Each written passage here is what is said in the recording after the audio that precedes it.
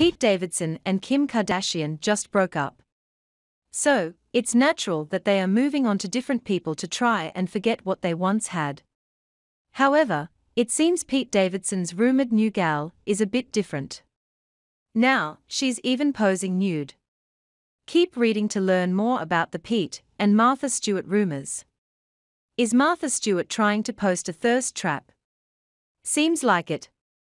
The now 81 year old woman took to Instagram to show off her nude body, The Sun reports. However, this photo isn't recent.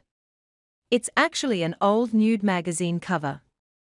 Martha is sitting in a massive clam shell on the cover. Of course, she's positioned so everything is covered, but it is still quite scandalous.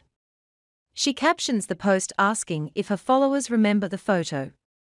Do you remember this? OMG.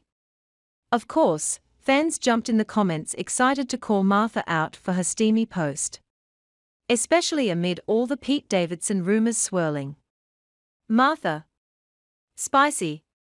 Okay, girl, I see you thirst trapping Pete. Okay, Martha. Pete Davidson certainly does. Rumors have been flying that Pete moved on from Kim Kardashian and settled down with an older woman. That woman is none other than Martha Stewart. After a photo came out of the two of them holding hands, followers were sure he was onto the next lady in his life.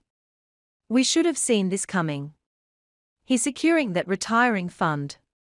He is making S asterisk asterisk T happen. Another even thinks he would be better off with Martha instead of his ex, Kim Kardashian. Martha would be a serious upgrade. However, Martha was sure to shut these rumors down, saying that she thinks of Pete as a son she never had. Pete Davidson is like the son I never had, she says. He is a charming boy who is finding his way. However, this will not be the end of Pete and Martha. Martha says she is inviting Pete to be on her podcast.